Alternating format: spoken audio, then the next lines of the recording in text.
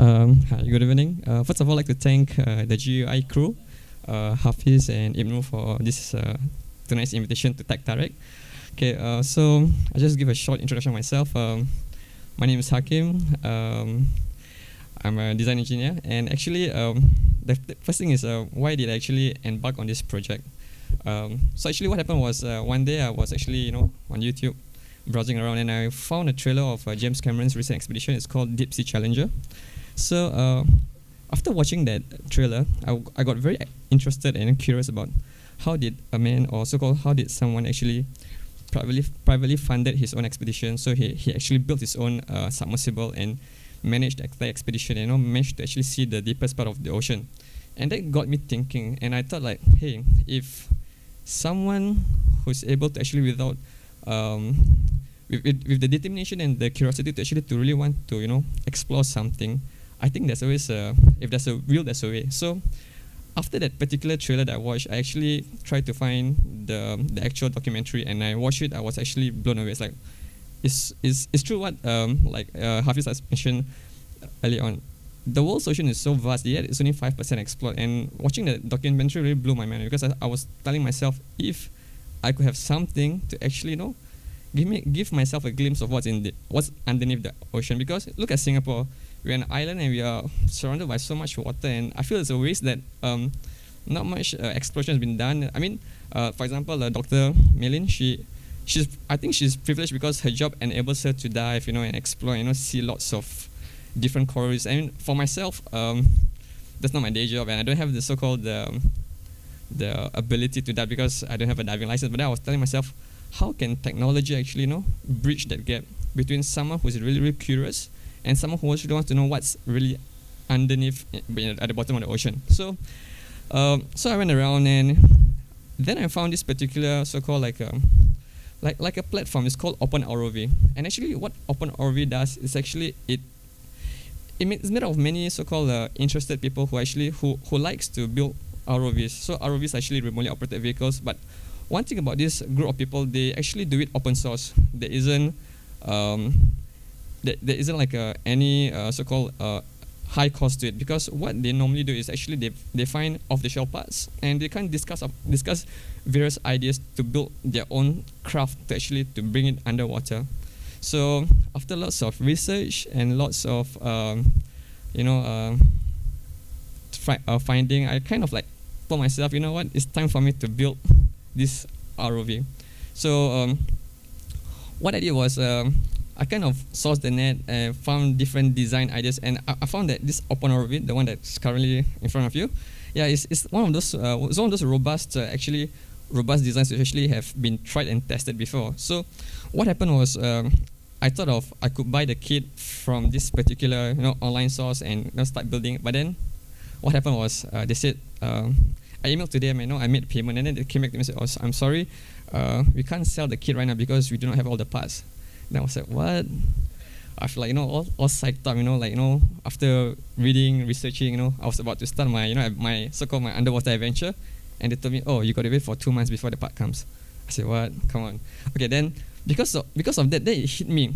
Because it hit me because I was telling myself, why must why, why do I actually need that kit to build my own ROVs? So that's when actually I, I read furthermore. I mean, I read out and I discovered that actually you can actually build everything from scratch because the instructions are all out there. You just have to you know read read read slowly and find out how they how, how to piece all the different parts together. So I kind of discovered that actually in Singapore we have many different so-called workshops that does different kind of fabrication and all you need is just so-called the, the right uh, know-how the right parts and, you know and, and, and, and, it all started as, a, as an adventure so what happened was uh, throughout one whole month I kind of like go online uh, design certain parts uh, get it fabricated in Singapore so there's this uh, particular so-called like a fabrication shop in uh, MOQ Industrial Estate. What they did was they do a lot of laser cutting. So actually, uh, the most of the parts over here actually all are made of acrylic and an aluminum sheet, which we actually laser cut in different uh, sorts of sizes, and all the electronics were actually found or bought online because. Uh, in a nutshell, this uh, ROV consists of a very simple system. It has three thrusters, two of which are actually horizontal thrusters, and one is a vertical thruster and uh, it's encased in a clear acrylic tube whereby you have the um, microcontrollers So microcontrollers are actually just uh, circuit boards or actually electronics that helps to you know communicate between the different parts of the ROV and also the user. And and the final thing which actually made make the connection of the bridge is actually the ability to view what's underneath. So what I did was I actually kind of hacked a off-the-shelf USB camera and, and kind of uh, plug it or connect it to the microcontroller board and actually it enables um, anyone to actually to, feed, to view what's underneath or beneath the ocean. So um, long story short, uh, it took me about say a couple of weekends before I got all the parts together and I decided to assemble it. And once I got once I assembled the ROV, I was very excited because you know finally I've got something which I can actually use and you know go exploration. So lo and behold, I went to a friend's house. He has a pool in his condominium, and I tried. And after I realized that um, my ROV was actually negatively buoyant. so what happens means is um, uh, I've forgotten because uh, the actual uh, blue plans or the actual plans uh, required the outer shell to be made of um, a type of plastic. Apparently in Singapore they don't have the plastic and I substituted with aluminium. Uh, aluminium. So that actually made the, the thing a bit more heavy than, than, than normal. So when I put it, it's just, uh, I mean, I put it, it sank.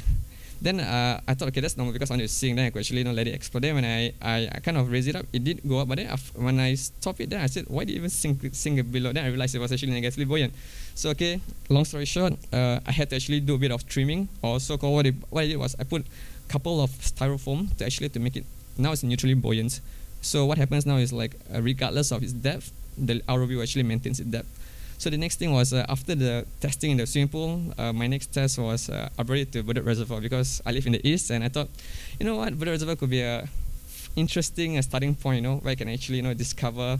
Or you know, I was hoping to see something underneath, you know, in, in the reservoir. Because okay, you know what, let's let's let's, let's go ahead. Yeah. So I went there on a Sunday afternoon, you know, all all hot and sunny, and I put it down and it descended. Okay, it was it was, fine. It was you know neutrally buoyant. I, I it kind of um, worked as what I expected to. But then what I didn't expect was actually it turned out to be that reservoir doesn't have any sea sea life at, at the bottom of the ocean. It was just full of algae and you just see lots of algae with brackish water. Okay, so you know what?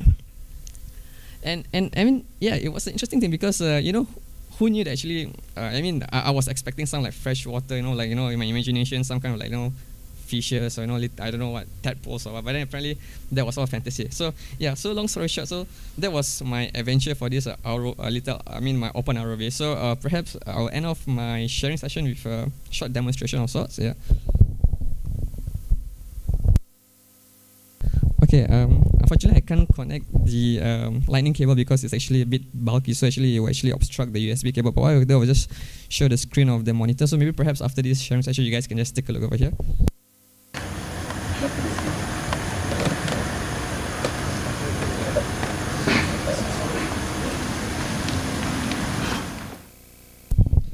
Um, so actually, um, what you're seeing right now is actually actual footage of um, what's uh, beaming streaming through the webcam. But however, I think uh, well, it was hibernating, it shut off by itself, so I'm trying to restart it anyway. So actually, um, there are very basic controls for this uh, ROV system. So what you can do actually, you can actually uh, adjust the angle or the pitch of the camera so that actually you know when you are descending or surfacing the angle can I mean the camera angle can actually be elevated up or downwards and at the same time it's because it's a very basic uh, design. So um, the movement of this ROV is very simple. It just uh, goes up and down. It uh, it goes forward and backward and it turns anti-clockwise or clockwise. So and mm, it's a very basic uh, so-called setup. And uh, the last thing is actually it has lights, uh, uh, onboard lights, because uh, as you descend deeper, it gets darker. So uh, lights can be controlled to give visibility for the darker spaces. Yeah. So I guess um, at the moment it was it takes some time to start up, but perhaps maybe after the entire session, you guys can just come and have a go with it. Okay. Thank you very much. Yeah.